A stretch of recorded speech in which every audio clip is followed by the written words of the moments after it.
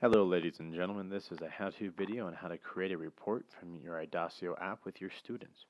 Going into your tabs, you want to click on the first tab you're going to get your report from. For me, it's my effort tab. Now I, I, have attendance here as my first one. I do not need to go in and put in everything for attendance. There's one button I need to check at the end and it will do it for me. So I'm going to go to my effort tab. In my effort tab, I'm going to click on my first student. You only have to do this with your first student in each tab.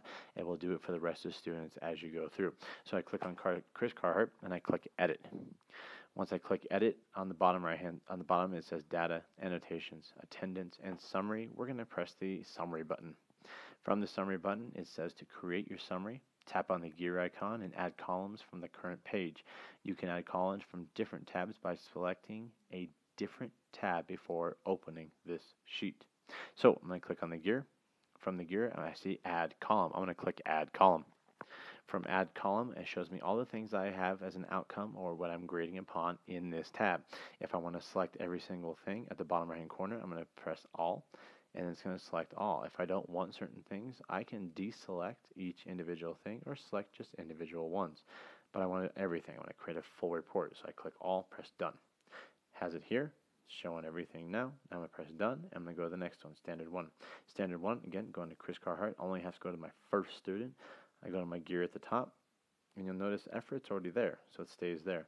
Click Add Column, has everything in Standard 1. Press All to select all of them. Press Done. Now I have effort and everything for Standard 1. Press Done.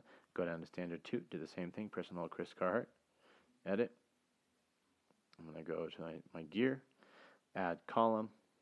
All, because I want everything in. Press Done. I have effort, Standard 1 in standard 2 now. Now, I have not done anything for Nick Chappell or anybody else yet, so I'm going to press and hold Nick Chappell to show you that it is doing it for him at the same time.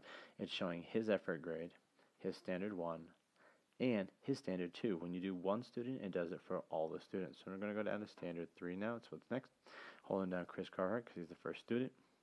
Effort, standard 1, standard 2. Now we need standard 3, so click on my gear. Add column. I'm going to select all of these. Done and done standard 4. Press and hold Chris Carhart. Now you'll notice that some things are not assessed on. That's okay. You can still do this. Press and hold gear, add column, select all, and done. Now I have effort, standard 1, standard 2, standard 3, standard 4. Press done. Now I'm going to go to Chris Schrader. Press and hold her. Edit. Okay. Again, for her summary, I have effort, standard 1, standard 2, and 3, and 4. Remember, when you do it for the first one, it does it for every individual student. So how do I get this information out? Was a couple of options. Press and hold, press and hold, press edit, go to my summary page. In the summary page, next to the gear to the right is our little upload button that you see on iOS devices.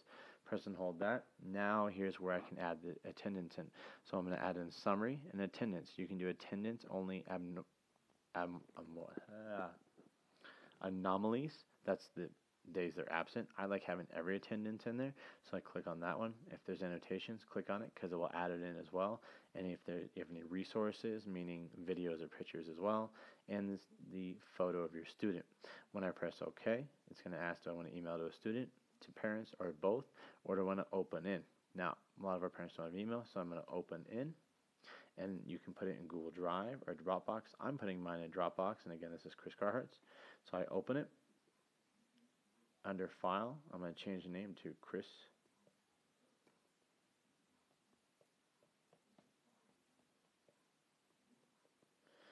I have it in the folder I want. I press Save. I already have one in here, so I'm going to press Replace. When I go through Replace, it's going to go through. Now it's going to say chriscarhart.pdf.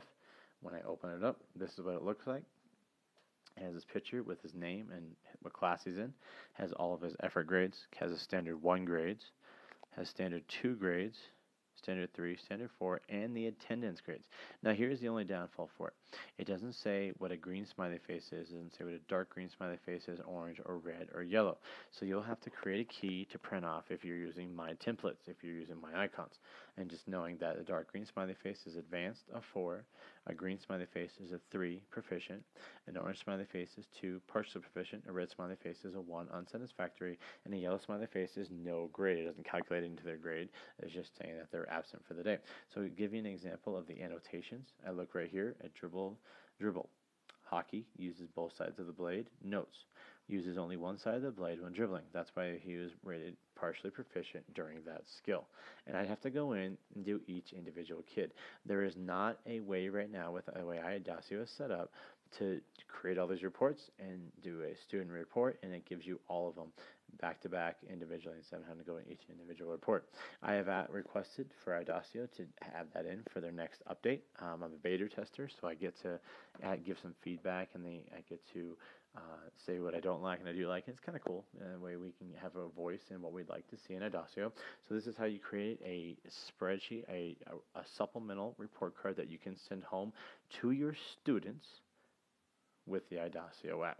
You have any questions, leave them down in the comments section, or you can email me, nd Spencer, S P E N C E R, at Aurora, A U R O R A K 1 2 dot org. Have a wonderful night.